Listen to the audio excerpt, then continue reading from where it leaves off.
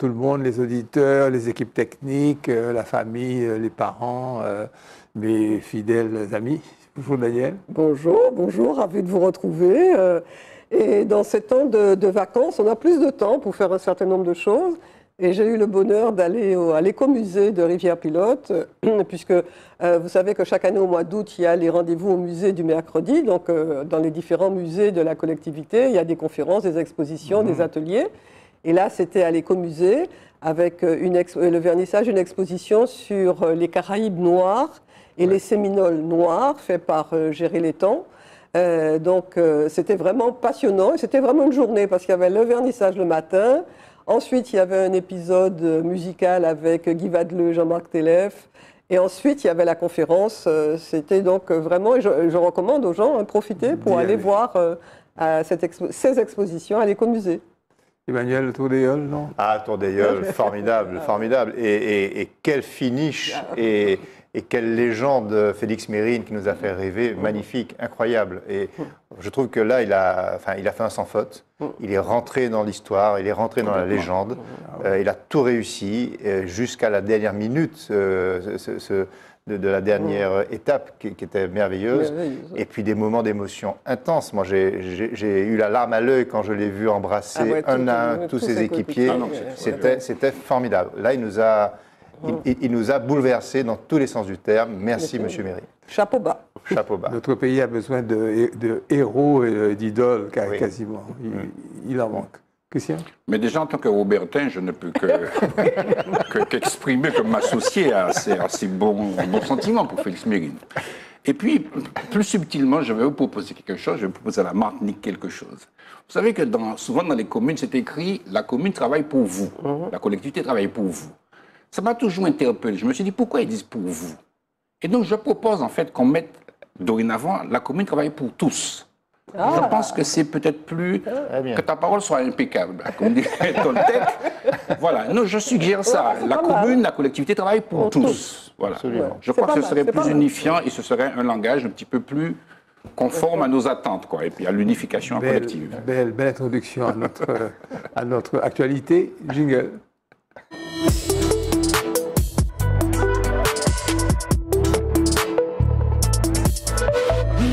Le 24 septembre prochain, les élections sénatoriales vont se dérouler. Euh, les conseillers municipaux, les élus de l'Assemblée de Martinique, euh, les parlementaires devront élire les deux sénateurs qui vont siéger au Palais du Luxembourg. C'est comme ça que ça s'appelle, le Sénat. Les deux postes de sénateurs seront soumis au renouvellement par un peu plus de 800 grands électeurs. À vous, madame. Oui, alors les grands électeurs, c'est vrai que c'est une, une, élection particulière, puisque c'est un suffrage indirect, euh, puisque ce sont ces délégués dont tu as parlé, ce collège électoral, qui va désigner les deux représentants de, les deux représentants de la Martinique. Alors je précise qu'il y a en tout 170 sénateurs qui devront être élus lors de ce, lors de ce, de ce scrutin. Et alors, ce qui est particulier, je trouve, dans ce, dans ce scrutin, auquel j'ai participé une fois, puisque quand j'étais euh, euh, adjointe au maire, j'ai été grand électeur à un moment donné, euh, c'est que je trouve que cette année, bien malin sera ce qui va sortir du scrutin. Parce que les choses ont un peu évolué, parce que les, les alliances sont un peu différentes. par exemple, Catherine Conconne est sortante et candidate, mais elle était soutenue par la majorité de la, le PPM et la, majorité et l'Alliance, ce qui n'est pas le cas. Ils n'ont pas, dit que c'était qu'ils appelaient à voter, pour elle. Mais en même temps, euh, euh, le maire de cette marie, euh, qui fait partie de l'Alliance, appelle à, voter pour Frédéric Buval, mais appelle aussi à voter pour Catherine Coconne en disant bah, elle a été élue, elle n'a pas démérité. donc par conséquent, le, jeu des alliances sera un peu différent. Sans compter, me semble-t-il, la, donne personnelle, parce que on a vu euh, que bon, le PPM a désigné un, candidat, euh, Raphaël Séminor, mais que euh, les deux candidats perdants, à savoir François Audiard et Yvon Paquit, sont un candidat libre, je dirais, parce que chacun dit qu'il a, il a des assurances personnelles. PPM aussi. Oui, PPM aussi. Mais donc, c'est là qu'on ne sait pas euh, finalement les grands électeurs. Il y a la donne, la donne personnelle euh, qui, euh, qui, est, importante. Alors, moi, je crois peut-être un peu de façon anecdotique. pourquoi y a-t-il tant de candidats? Pourquoi ils sont aussi intéressés?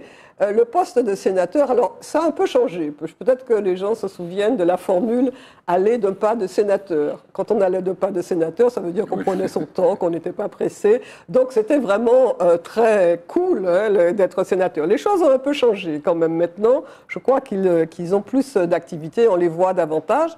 Et puis je dois dire, toujours à titre anecdotique, qu'il y a certains postes, parce que le bureau du Sénat, c'est qui est très fourni, hein, euh, ça a des avantages considérables. Je me souviens d'Edmond Valsin, qui était un sénateur martiniquais, qui était questeur du, euh, du Sénat. Et j'ai eu l'occasion, il avait un logement de fonction, donc qui donnait sur le palais du sur le jardin du Luxembourg. C'est vraiment les ors de la République avec majordome, avec les orchidées de la serre du Sénat qui sont renouvelées. C'est vraiment quelque chose. Donc je comprends qu'il y a un certain nombre de personnes qui soient attirées, attirées par cela. Enfin, pour de façon plus sérieuse, je crois qu'on peut dire que quand même, avec euh, le, gouvernement qui n'a pas de majorité à l'heure actuelle à l'Assemblée, le Sénat me paraît avoir un rôle plus important qu'avant, parce que quelquefois, par le biais de sa commission mixte, euh, euh, vous savez, quand une, une, loi, une proposition de loi passe d'abord à l'Assemblée, ensuite au Sénat, il peut y avoir une commission mixte, et quelquefois, il y a eu des modifications qui ont fait qu'une loi a pu passer. Donc, il a un rôle plus important. À une époque, il avait déjà eu l'exposition de Monerville est là pour nous rappeler ce rôle qui avait un peu diminué, mais me semble-t-il, euh, il, a, il, a, il a eu plus d'importance. Donc, euh, suivons avec attention euh, ces joutes politiques pour savoir ce que ça va donner. Préciser ce que tu estimes être un peu moins sérieux, que moi j'estime être très sérieux, c'est qu'une fois déduite les assurances sociales, le montant mensuel est de 5 928,63 euros. L'indemnité de résidence est de 177,22 euros et l'indemnité de fonction, elle est de 1521, ce qui fait un total de 7605,70 euros. Et notre confrère Edmond Valsin, s'il avait été vivant de jour en tant que questeur, il aurait touché la somme de 4426,52 euros qui, se, qui, qui sera ajouté à ces 7560,07 euros. 10 000 par mois, c'est pas mal, c'est pas mal à mettre dans la poche euh, quand on est sénateur. Mais ceci étant dit, il travaille. Je ne vais, pas, vais pas être perfide. N'empêche que pour d'autres commissions, c'est 2175, je ne vais pas les nommer. 2007, 927, euh, la moins, la moins bien payée. C'est pour le président de l'Office parlementaire d'évaluation des choix scientifiques et, technologiques. Enseignement plus, je crois qu'il s'est réuni une fois dans l'année. Voilà.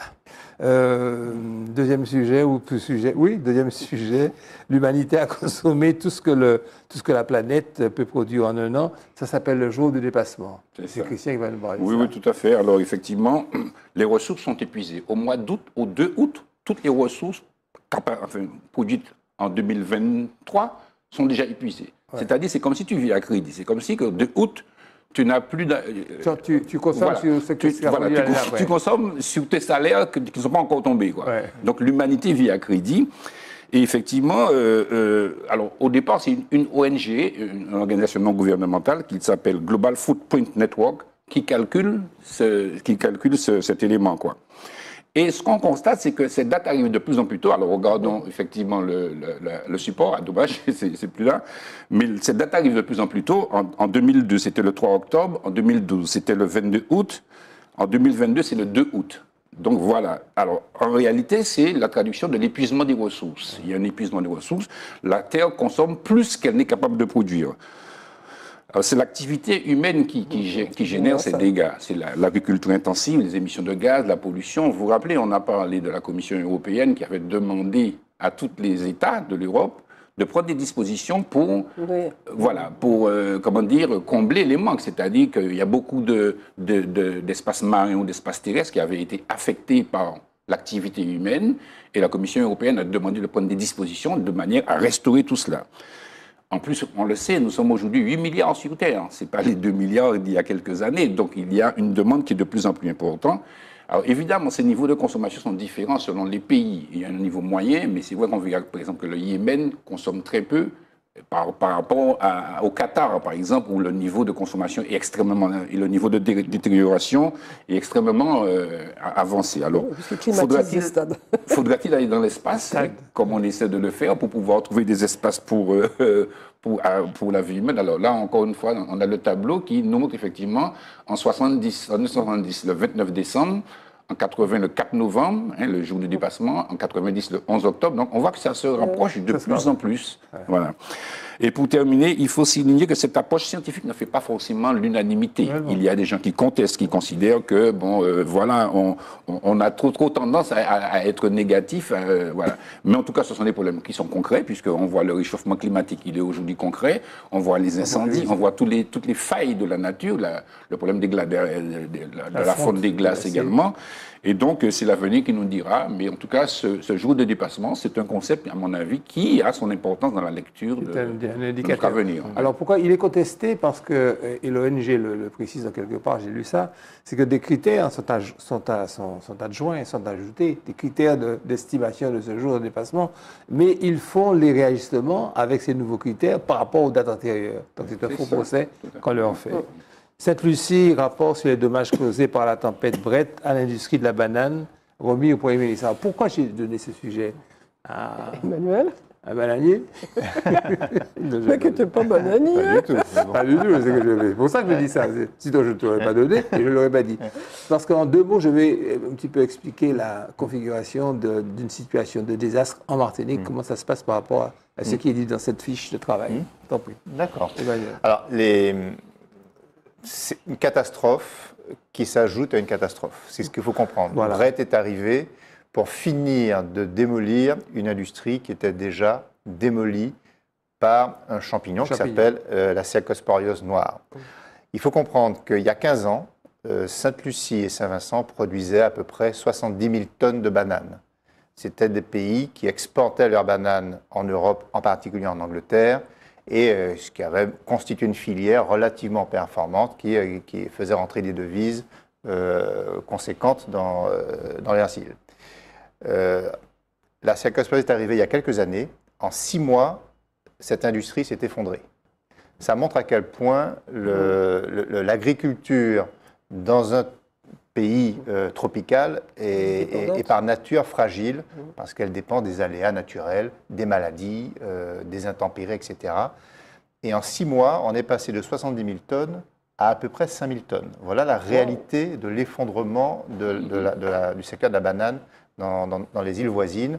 Autrement dit, ce, pays qui exportait, qui, avait une, une infrastructure lourde, aujourd'hui, n'est même plus en capacité de fournir correctement leur marché interne, local. C'est assez terrifiant de voir à quelle, à quelle, vitesse on peut dégrader, on peut détruire euh, une industrie performante. cette menace, euh, enfin, cette attaque qui a touché euh, ces îles voisines, a menacé dans les mêmes proportions la banane des Antilles faut, et de Martinique et de Guadeloupe. il faut en être conscient. la, cercosporiose n'a pas un passeport pour savoir si elle peut rentrer euh, ou pas dans, en Martinique ou en Guadeloupe. Elle rentre. Euh, les, euh, les, producteurs de Martinique et de Guadeloupe ont fait face à, à, ce risque de manière extrêmement intense. Donc, ils se sont mobilisés, se sont surmobilisés pour tenir et faire face avec des pratiques culturelles qu'ils ont mis en place, avec des taillages des, feuilles. Enfin, il y a, toute une série de mesures qui ont été prises.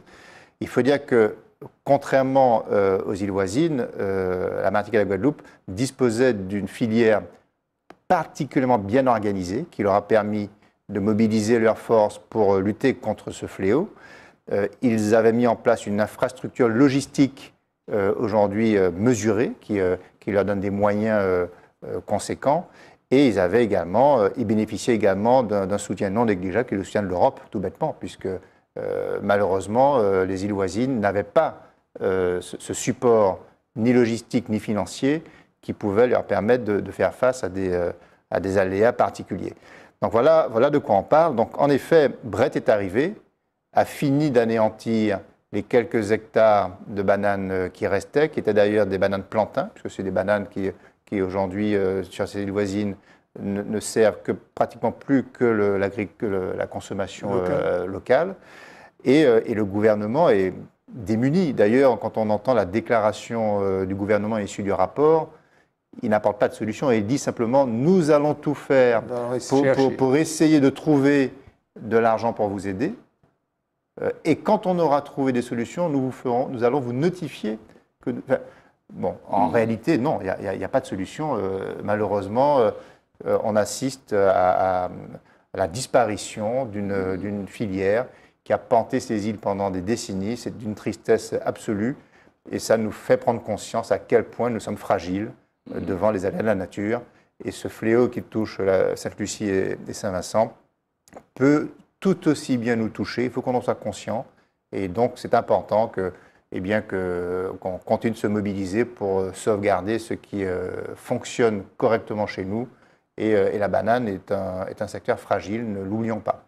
Daniel Oui, je, pense que c'est l'occasion de rappeler, et si on se souvient bien, au niveau des, des prévisions météo, que Brett a dévié de sa trajectoire pour passer plus au sud de la Martinique, ce qui fait que Sainte-Lucie a été impactée, alors que nous, nous ce que Sainte-Lucie a subi, s'il avait subi sa trajectoire, c'est nous qui l'aurions subi. Et pour les gens qui ont tendance à vouloir critiquer en disant Ah, la météo dit ça, mais rien ne s'est passé, etc., je pense qu'il faut qu'on soit vraiment conscient de la chance qu'on a eue que Brett soit et mm-hmm. dévié. Et, malheureusement, c'est Sainte-Lucie qui, qui, qui, a, qui, a, pris le plus. Oui, je, je vais dire quelque chose. Ne prenez pas les propos de Daniel Marceline comme une défense de la météo. C'est simplement un constat de fait, un constat objectif. Il y a une météo qui fonctionne. Hein. Et puis, c'est ça, c'est une réalité. Nous sommes à contre-temps ici euh, des, personnes éclairées et qui essayons d'être objectifs. Euh, comment ça se passe dans si, si, la météo effectivement euh, avait, si les prévisions de la météo avaient été justes et que elle n'avait pas été juste et que c'était passé sur nous. N'avait pas été juste et que c'était passé sur nous. Ben D'abord, le préfet de la Martinique, il aurait reconnu par arrêté euh, l'état de catastrophe, de sinistre de l'activité, la, de, la spéculation, euh, ce qui aurait permis de mettre en jeu une procédure immédiate d'indemnisation du fonds de secours. Il existe un fonds de secours les catastrophes au niveau national. les candidats peuvent s'adresser à la DAF. Je donne des détails précis. Euh, et je dirais pourquoi. Aux organisateurs, aux organisations professionnelles, chambres d'agriculture et autres, groupements, producteurs, qui a une structuration du métier de la profession ici. Emmanuel le disait. Cette reconnaissance permet également l'ouverture de dispositifs de soutien prévus par les programmes européens. Je les précise, je les qualifie, je les nomme, euh, sans faire aucune publicité, euh, sans, faire de cocorico pour quiconque, au titre de la réglementation européenne, de l'Union européenne, des aides, les aides du programme de développement rural, le PDR, et des aides euh, euh, du chef du programme d'options spécifiques à l'éloignement et à l'insularité, POSEI. Moi, je dis qu'être agriculteur à cette Lucie ou à Saint-Vincent ou ailleurs, mais c'est une, position quasiment messianique. Quoi. On, est, on est le Messie sur terre, on va nourrir son peuple dans une, dans une incertitude, dans, une, dans un flou, dans, une, dans un avenir complètement en déséquilibre permanent et total euh, dans le sol, météo dans, l'air. Ici, c'est lui qui fait l'agriculture. Il va prendre du plomb, mais il aura quelques petites économies, j'espère pour lui, s'il s'est thésaurisé. Il aura un petit jardin local. Et puis il sait qu'en cas de catastrophe, il va descendre à, à, la chambre d'agriculture. Ça va être difficile, ça va être compliqué. On va lui demander des papiers, mais il va les remplir. Et il aura une possibilité de recommencer, de repartir, de ne pas arrêter. Ce qui lui permettra de participer à la Mercury Beach, ce qui lui permettra, ce qui lui permettra d'aller à Bikini Jazz, ce qui lui permettra, pas, pas, tout de suite, enfin, attendez un peu, ça viendra, ce qui lui permettra de vivre une vie sans stress total et, extraordinaire. C'est-à-dire qu'en plus du fait que ces pays sont, sont en, revenu individuel euh, très bas et très faible, ils sont soumis à des aléas extraordinaires. Mm. Ne voyez dans ce que je dis aucune publicité pour le système dans lequel nous sommes. C'est un constat. Ce que je dis simplement, c'est qu'il faut être réaliste. et que dans le système où nous sommes, qui nous permet ce confort, eh bien, on pourrait pratiquer la bienveillance, mm. on pourrait pratiquer la, gentillesse, on pourrait conduire sans faire des queues de poisson sur les routes, on pourrait insulter moins son voisin, on pourrait moins coller au derrière des gens qui circulent. Enfin, on pourrait être une Martinique euh, heureuse et, et, apaisée. Mm-hmm et faire de nos différences euh, une force, une œuvre collective. Euh, du coup, j'en ai perdu mon, fil. Les Nations Unies appellent à un meilleur soutien à l'allaitement sur le lieu du travail. Voilà encore un sujet, je vais expliquer après pourquoi. Baïchoutété, Daniel. Oui, alors, euh, donc effectivement, euh, l'ONU, euh, chaque année, du 1er au 7 août, c'est c'est la semaine de l'allaitement. Et en fonction de l'année, il y a un thème. Et cette année-ci, le thème, c'est l'allaitement au travail. Alors, d'abord, un constat, et tout le monde est d'accord pour reconnaître que l'allaitement maternel, c'est pour l'enfant, c'est un bénéfice parce que ça favorise le développement et ça favorise surtout l'immunité parce que l'enfant qui a, qui a l'allaitement euh, et euh, n'attrape pas de maladie euh, pendant, pendant plus longtemps. Et donc l'OMS préconise que les enfants soient allaités exclusivement par le lait maternel pendant six mois et ensuite qu'ils aient une nourriture mixte, allaitement et nourriture complémentaire, jusqu'à l'âge de deux ans. C'est ça L'Organisation mondiale de la santé. L'Organisation mondiale de la santé. Alors, donc, comment y arriver pour, pour, pour, les personnes qui sont à domicile? Ça hmm. peut ne pas être. Euh, quand on travaille. Euh, oui, mais quand on travaille. Et donc, il y a deux réponses. La première, c'est le congé de maternité, donc la durée du congé de maternité. Alors, la, la France, c'est 16 semaines en totalité, donc avant et après. Donc, euh, c'est sûr que les femmes peuvent disposer de, de, certains temps, mais qui, par rapport aux six mois préconisés par, euh, euh, c'est largement insuffisant. Alors, il y a d'autres pays qui ont un congé de maternité beaucoup plus important, qui va même jusqu'à un an, mais seulement alors que, par exemple, la France, les 16 semaines, la totalité du salaire est payée. Dans les autres pays, le salaire va décroissant. Donc, il y a une possibilité plus longue, mais en même temps, il y a moins de revenus. Et là, le deuxième volet, c'est la législation dans certains pays qui, qui permet l'allaitement sur le lieu de travail. En France, c'est deux fois 30 minutes par jour où la femme a la possibilité soit d'allaiter sur place, c'est possible, soit de disposer d'une possibilité de tirer le lait pour pouvoir euh, euh, l'utiliser plus tard. Et tirer le lait, ça, a une importance pour la femme parce que si vous ne tirez pas le lait, au fur et à mesure, le lait ne monte plus et donc par conséquent, vous n'avez plus de lait. Donc pour permettre à la femme d'avoir plus de temps de lait, il faut, il faut avoir cette lait. Alors ça nécessite pour les entreprises qu'il y ait une salle où euh, la mère puisse allaiter et ça n'a pas toujours été évident parce qu'il y a des fois, il y a des mères qui racontent que bon, c'était dans les deux vallées, dans les toilettes ou dans la cuisine. C'était compliqué. Et jusqu'à présent, on ne peut pas dire que toutes les entreprises soient, soient au top. Et puis, il y a un autre phénomène qui intervient, qui est plus social ou culturel, c'est le regard. Le regard euh, des collègues, de la hiérarchie. Pour certaines femmes, elles, elles disent que bon, elles, sentent vraiment la désapprobation euh, et, ça peut nuire à leur carrière. Et donc, euh, et, même au niveau, pas dans l'entreprise, mais au niveau public, je ne sais pas si vous vous souvenez, il y a quelques semaines, il y avait eu des femmes, parce qu'il y a, c'est venu d'Occident, mais il y a, ici, il y a une association qui prône l'allaitement public. Donc, il y a des femmes sur la savane qui allaitaient leurs enfants. Et il y a des fois où euh, ça suscite une certaine euh, réaction négative de personnes en disant qu'ils n'ont pas allaité, donc on n'a pas à voir le sein public.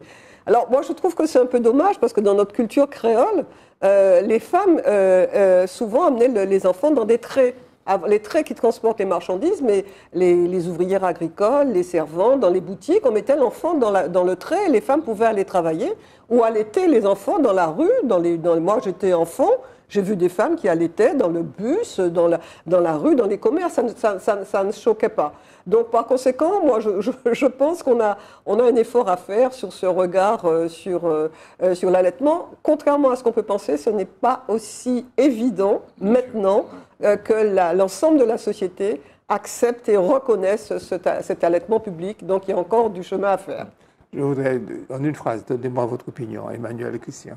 Emmanuel ah ben euh, non, mais je pense que tout a été dit. En effet, il y, a une dimension culturelle. Euh, je reconnais ce que dit euh, Daniel. Moi, je trouve qu'on s'est un petit peu dégradé, puisque il me semble qu'il y a une trentaine d'années, ce geste-là n'était pas soumis à un regard critique du tout. C'était naturel. Enfin, moi, j'ai vu dans mon enfance, des, et il n'y avait aucune perversité, il y avait, enfin, il y avait aucun. Et là, aujourd'hui, en effet, on sent qu'on juge. Enfin, donc, je pense qu'on euh, régresse euh, sur certaines choses, euh, sur le plan culturel, parce que c'est un, fait culturel en réalité. Il y a une forme de régression qui, devrait nous interroger. Je trouve ça assez inadmissible que, ça puisse faire débat aujourd'hui, la question de l'allaitement public. ben, je n'ai pas particulièrement d'opinion. Simplement, par rapport à ce que tu disais, je me disais, ce sont des situations pratiques difficiles aussi. Je ne sais pas si tu es à l'entreprise, tu es dans une entreprise, donc il faut que ton bébé soit là. Comment, comment ça peut se passer sur le plan pratique? Eh ben, Il y a des fois, c'est possible, parce qu'il y a la question aussi de la proximité de l'enfant. Quand tu habites loin, tu ne peux pas emmener l'enfant. Donc en général, on résout le problème en permettant aux femmes de tirer leur lait. Ah et donc, par conséquent, elles, ont une, salle, où elles peuvent tirer le lait et un réfrigérateur où elles peuvent entreposer le lait. Moi, je crois que tout ce qui peut faire avancer la dimension humanitaire est fondamental. Alors, je peux ajouter l'organisation du travail a, donné un argument supplémentaire économique, celui-là. On a déjà vu euh, les, bienfaits pour, pour l'enfant, mais pour l'entreprise. Pour l'entreprise, en disant que du fait que l'enfant est, est, moins malade, puisqu'il a cette immunité donnée par le, les parents, il est moins malade, donc les parents sont moins absents. Et ça, c'est Mais c'est vrai, en fait. Moi, je donnerai mon avis. Quand je vois une femme qui allait un enfant, je suis attendri. Je suis attendri, quitte à presque avoir des larmes aux yeux, parce que pour moi, l'enfance, l'allaitement, c'est quelque chose de magique et tout. L'enfant, l'enfant. Euh, une fois, je, plaidais et j'ai eu, euh, eu la réaction étrange de mon adversaire qui était une femme, qui a persiflé en disant que c'était une grâce d'avoir un enfant, dans un contexte particulier, très difficile. C'est sûr qu'on pouvait faire comme elle avait fait. Et euh, ça m'avait frappé parce que je me disais, même cette femme qui, qui s'occupe d'enfants, qui s'occupe d'enfance difficile et tout, euh, même si ma, mon argument de plaidoirie était, était pour moi, l'enfance, faire naître un enfant, euh, vous allez comprendre que je suis contre l'avortement. Mais ça, là n'est pas le sujet. Le cerveau des retraités, le cerveau des retraités, nouvelle découverte scientifique. Alors voilà ce qui se passe. La doxa classique, c'est que vous, bientôt, moi déjà, avons nos zones frontales et temporales du cerveau atteintes avec l'âge, provoquant chez nous un repli sur, soi, une impulsivité, une vulgarité, une colère, une susceptibilité, vieux quoi, quoi, excessive, une négligence physique et dans certains cas des troubles du langage. Et voilà qu'il y a un scientifique qui nous dit tout le contraire.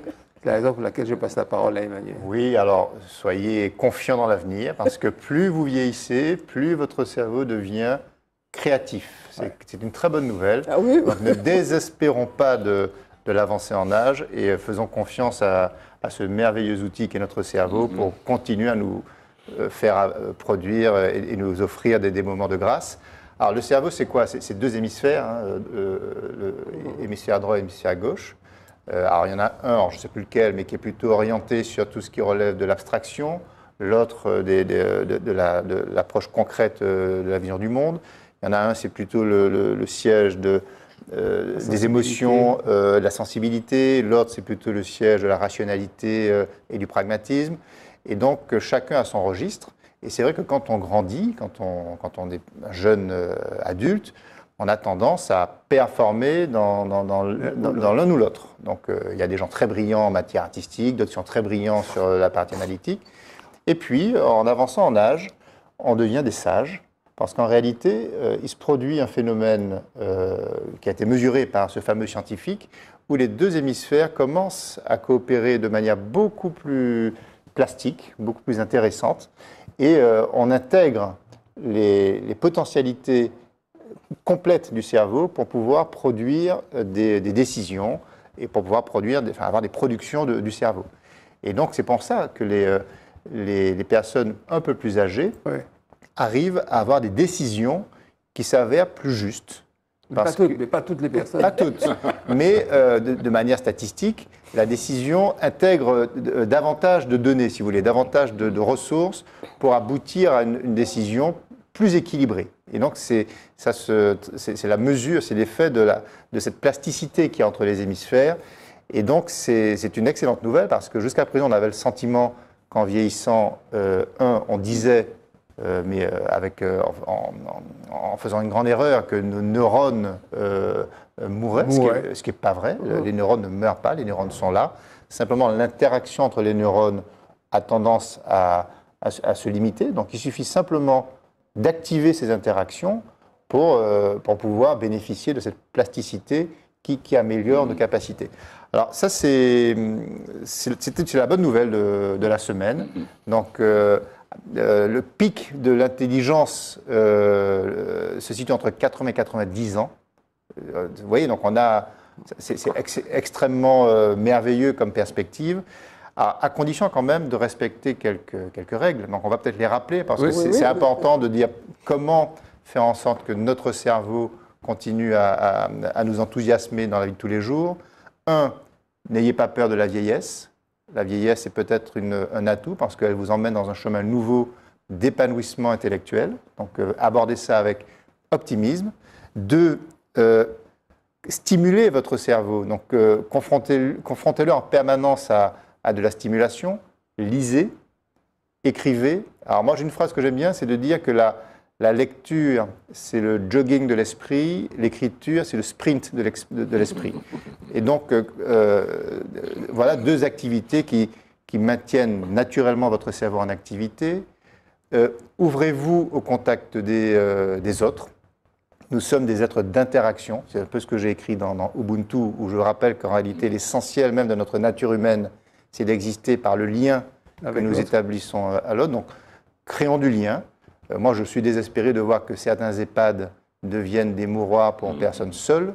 Euh, on devrait y loger euh, des crèches, des écoles maternelles, parce que c'est dans ces interactions que là, on peut recréer une nouvelle vie totalement épanouissante.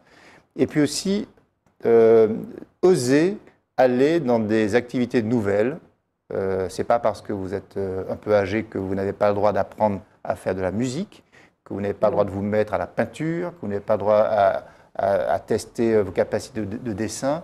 Euh, toutes ces dimensions vous sont ouvertes. Donc allez-y sans complexe. Ça fait partie des, activités de stimulation euh, du cerveau. Et puis, j'ai envie de dire, riez, riez, riez. Le rire, là aussi, est un merveilleux carburant pour dynamiser notre cerveau. Tu as oublié l'activité physique, le sport. Oui, l'activité physique. En effet, bouger, c'est important. Euh, l'activité physique fait partie des, euh, choses utiles pour. oui, sur les réseaux, cette semaine, il y avait ce qui circulait, marcher, comment on disait comment c'était important de marcher. 4000 pas par jour augmente votre espérance de vie de 15%. Si vous marchez plus de 4000 pas par jour, ça a été mesuré, mm. votre espérance de vie, quel que soit l'âge à laquelle vous pratiquez la marche, euh, augmente de, de, 15%. Non, très concrètement, on est bien. On est bien, quand on a fait 4000 pas ou une demi-heure de marche, on est bien, on est bien. Moi, je connais un parmi nous, euh, je connais plusieurs parmi nous, tous parmi nous, qui pratiquent tout, ça. Alors, on se donne rendez-vous dans 30 ou 40 ans encore. continuera. Mais grâce, grâce à un contre-temps, la question de la simulation du cerveau, avec les sujets que tu nous donnes quelquefois, c'est sûr qu'on va dans, des, dans, des, zones qu'on ne connaît pas. D'ailleurs, c'est une des, une des, euh, des, conseils qu'il faut donner, c'est regarder Zitata, regarder à contre-temps. Voilà euh, une, activité qui, stimule euh, votre Regardez une deuxième fois.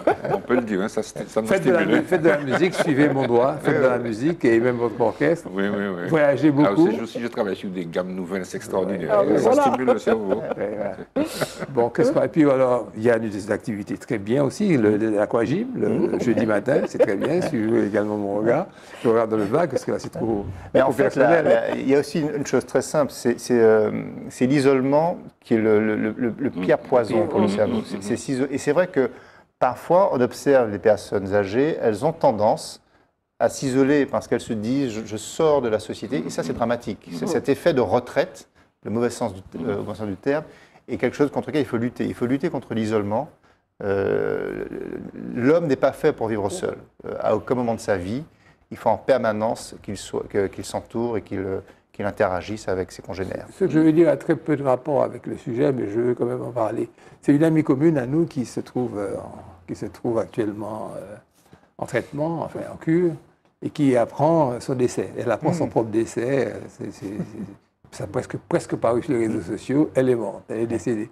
Si vous savez le, le, rush, la pulsion que ça a entraîné auprès de dizaines, de vingtaines, de trentaines de personnes, je me dis, mais eh celle-là, elle a bien raison, elle participe à toutes nos réunions, elle se dépasse peut-être difficilement, mais elle est là, elle écrit toujours pour donner des idées à son président, je suis son président. Euh, c'est une dame qui, certainement intellectuellement, on connaît beaucoup plus que moi, mais qui, euh, qui joue le jeu de l'association et qui, euh, qui résiste très bien. Je profite pour lui souhaiter... petit salut. Culture, jingle.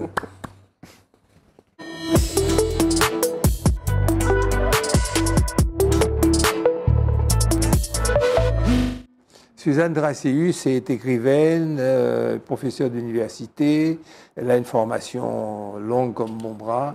Elle a fait des choses, elle a écrit des livres, elle a écrit des pièces de théâtre. C'est tellement long et complexe. Je vais laisser Daniel synthétiser ça. Oui, alors Suzanne Dracius fait partie de ces auteurs antillais, martiniquais, qui sont plus connus à l'extérieur qu'à la Martinique. Parce que Suzanne Dracius euh, est euh, traduite euh, en anglais, bien sûr, mais en espagnol, en néerlandais, enfin un tas de langues. Et c'est une, c'est, une, une, écrivaine qui, qui écrit beaucoup. Alors, on va commencer par le début. Elle est, elle est martiniquaise. Quand on la regarde, elle se définit comme une Calazaza gréco-latine. Calazaza parce que c'est une mulâtresse et euh, gréco-latine parce qu'elle va faire des études de lettres classiques, français, grec et latin. Et euh, c'est une passionnée de la, euh, de la culture gréco-latine et elle assume totalement et elle défend au niveau de, son écriture et de ses engagements personnels le fait qu'elle soit d'origine multiple et de culture multiple. Et cela se ressent dans sa littérature. Elle écrit des romans. Elle a commencé par écrire son premier livre, c'est un roman, ça s'appelle L'autre qui danse, et euh, qui est, euh, dont les personnages portent les noms d'une chanson de Curtis Louisard, Aganila. Et donc, c'est Rêve Madame, Maltildana et Aganila. Et lors de la présentation de ce roman en Martinique, la première lecture, Curtis Louisard était là pour euh, pouvoir chanter.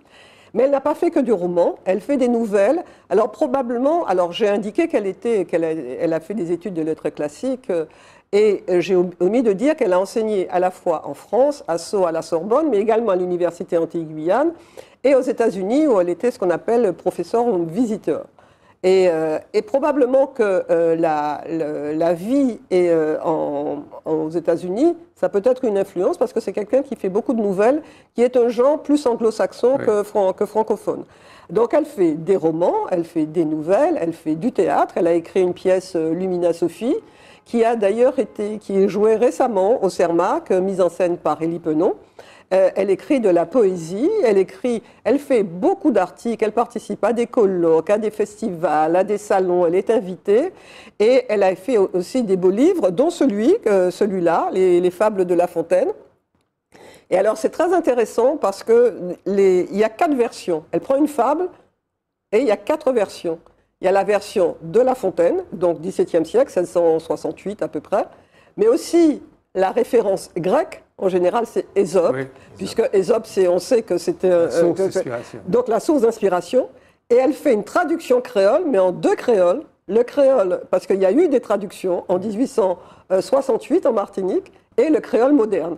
Donc une même fable à quatre euh, quatre versions. Et c'est passionnant vraiment de voir, notamment euh, au niveau du créole, de voir euh, le créole qui est comme il était parlé en 1868 et puis maintenant.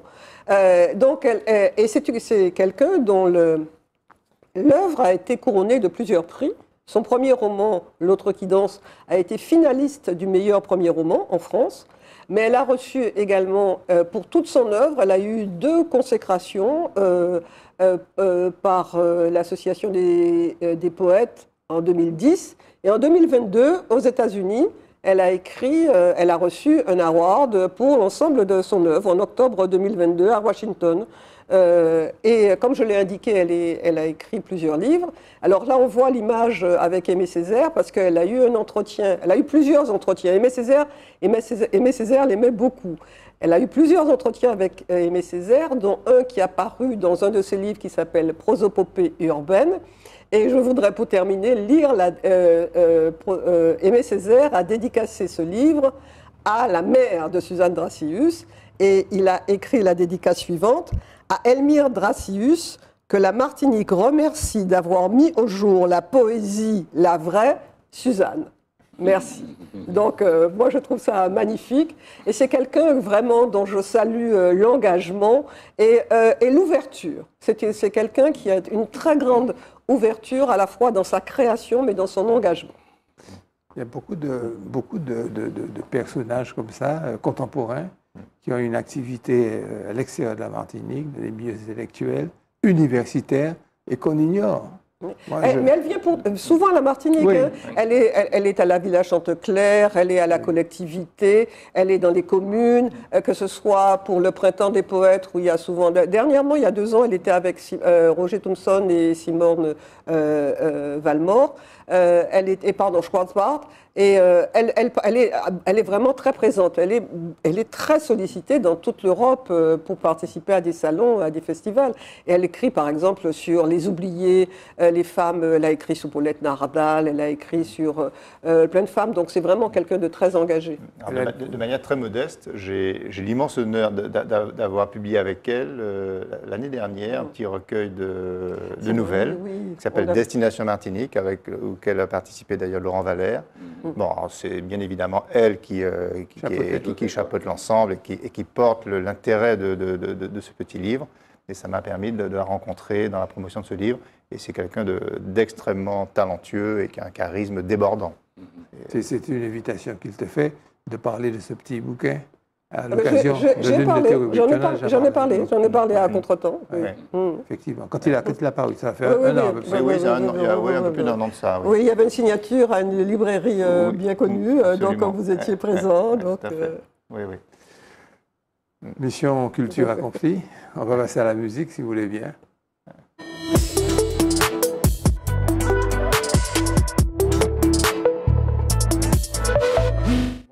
On va entrer dans l'univers du K-Fusion avec Guada Jazz qui, sera, qui a été en tournée en Guadeloupe à plusieurs reprises. Et donc ici, on va nous parler. Alors Guada Jazz, c'est un projet qui a été porté par une association, effectivement, qui s'est traduite par de multiples prestations en Guadeloupe. au préalable, je voudrais vous dire comment, effectivement, on a déjà parlé ici, mais comment le jazz a aujourd'hui alimenté toutes les formes d'expression. Latin jazz, Tito Puente, reggae jazz, on a vu avec euh, au Cermac, j'oublie la, jamaïcaine, On a Latin Jazz, on a Begin Jazz, on a Creole Jazz, il y a Afro-Caraïbe Jazz, il y a même Compa Jazz, et il y a Zouk Jazz aussi. Ronald, tu l'avais sorti un, album de Zouk Jazz. Donc c'est vrai qu'aujourd'hui, toutes les traditions rythmiques spécifiques trouvent dans le jazz un exutoire. Pourquoi? Parce que le jazz, encore une fois, permet l'universalité, le jazz permet aussi l'improvisation, le jazz est spatial, quoi. Donc je crois que toutes les musiques se nourrissent du jazz. Alors Guada Jazz, c'est un projet d'un musicien qui s'appelle Alain Louis, que j'ai eu la chance de connaître quand j'étais étudiant, parce qu'on était à Nanterre ensemble. Il est guitariste et on va déjà écouter un premier morceau et vous allez voir comment il a traduit, n'est-ce pas, les rythmes traditionnels, traditionnels de la, de la Guadeloupe dans des univers, dans un univers euh, harmonique extraordinaire.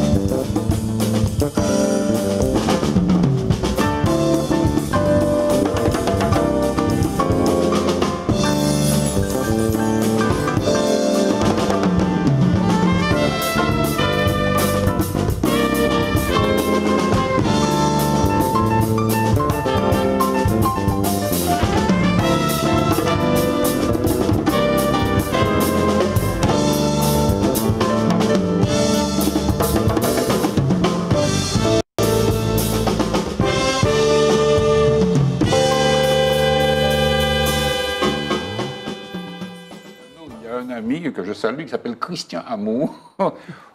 j'étais à Nanterre, il était à 255 et j'étais au 253. Voilà, Christian, c'est mon copain toujours. Il vient à Marie-Galante. Il est déjà venu au Festival Big Alors, j'aimerais vous dire que ce projet a été bien évidemment distribué dans plusieurs salles en Guadeloupe. Hein. la salle Gérard Loquel, la, euh, la, salle euh, Robert Loison, ça a été à, à Sonis également, au Casino du Gosier. Donc, et vous l'avez vu, euh, parfois il y a des gens qui sont un peu puristes qui disent Belé c'est Belé, pas toucher Belé. Ou bien Goka c'est Goka. Mais comment évacuer la formation de nos musiciens modernes, comment évacuer l'adjonction d'instruments nouveaux aussi, un nouveau langage. Et on va écouter un deuxième titre qui est dans la même lignée, et ce titre s'appelle euh, Irena. Irena. Le premier c'était Kalinago. Kalinago, merci bien.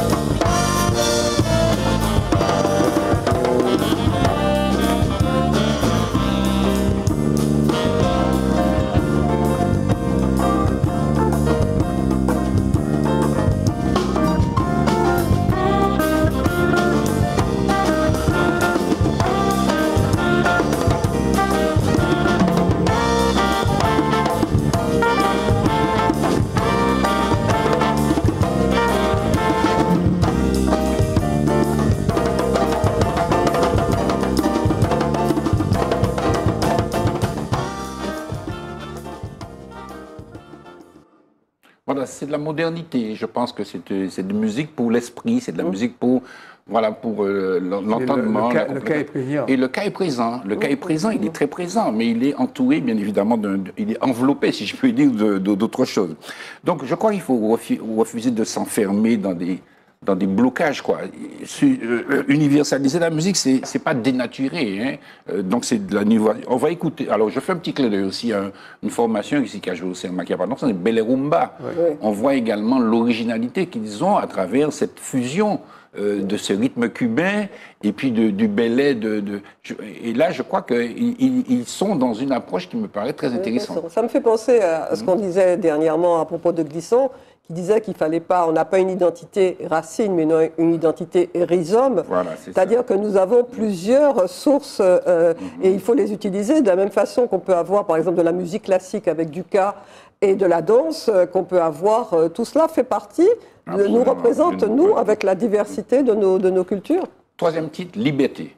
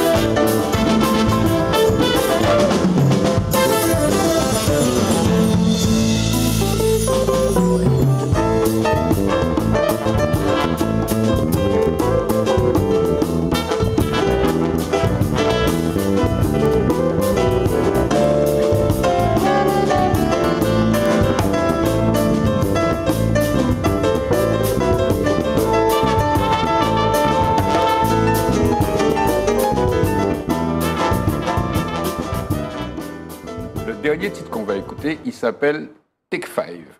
En fait, mais ils l'ont appelé Take Four. voilà. Ah Alors, pour l'anecdote, Take Five a été un morceau que vous allez reconnaître, qui a été composé en 1959 par Paul Desmond. Et l'anecdote est la suivante, c'est que Paul Desmond, quand il a composé ce morceau, n'était pas du tout content du morceau. Et il s'est dit, euh, si on me vendait la marque de rasoir qui était à la mode à, l'époque, je donnerais le morceau à un Tu vois, il avait vraiment envie de se débarrasser du titre. Et il se trouve que ce morceau, en 2012, a rapporté 6 millions de dollars en droits d'auteur. Wow mais il a eu l'occasion de faire une donation à la Croix-Rouge. Je ne sais pas si c'est une donation de, la totalité, tu vois, mais peut-être, en tout cas, en 2012, ça rapporte ici.